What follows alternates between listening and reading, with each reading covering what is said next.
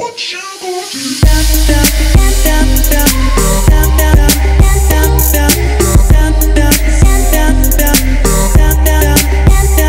guys, it's Ava, and today I'm going to be doing a back to school supplies haul. I am in love with back to school shopping, just saying, like, so anyway, I will be showing you guys what supplies I got from Target for back to school. And also, if you like this video, thumbs up the video and check out my previous video. I did DIY back to school notebooks and organization tips if you want to check that out. And also subscribe to my channel if you're new. Hi, I'm Ava.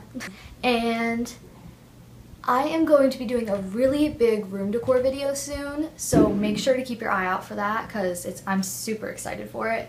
Like, I'm gonna redo my whole entire room. Well, not really, but just a bunch of decor and stuff that you guys will probably like. Well, like, keep your eye out for that. Without further ado, let's get into the video.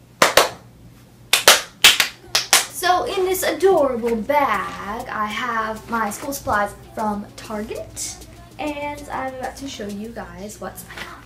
What I got were these awesome colored pens and they are crystal gold Bic. The next thing I got were these sticky notes that you guys probably saw in my last video also. The next thing I got were these highlighters and I got them in three different colors. And I got these number two sharpened pencils that I'm going to decorate with washi tape and I will show you guys the washi tape in a second. Then I got these pens which I really like, Bic Atlantis and they are my favorite pen. So next I got this washi tape and it comes in mint green with a beautiful white pattern and it's super cute and I'm definitely going to decorate a lot of my supplies with this.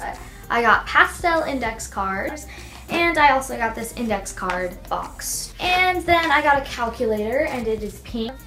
So next up, I got these white erasers, oh, but every year I bring them and everyone's like, can I have them? And I'm like, no, sorry. Never mind.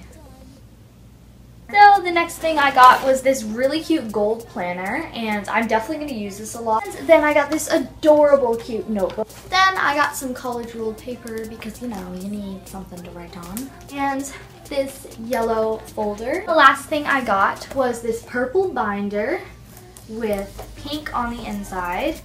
There's a folder for every core class including my yellow one. So I have pink, blue, purple, and navy. That is it for my school supplies. Thanks for watching. Thumbs up this video if you enjoyed and comment below what day you go back to school because I would love to know. And thanks for watching. Bye!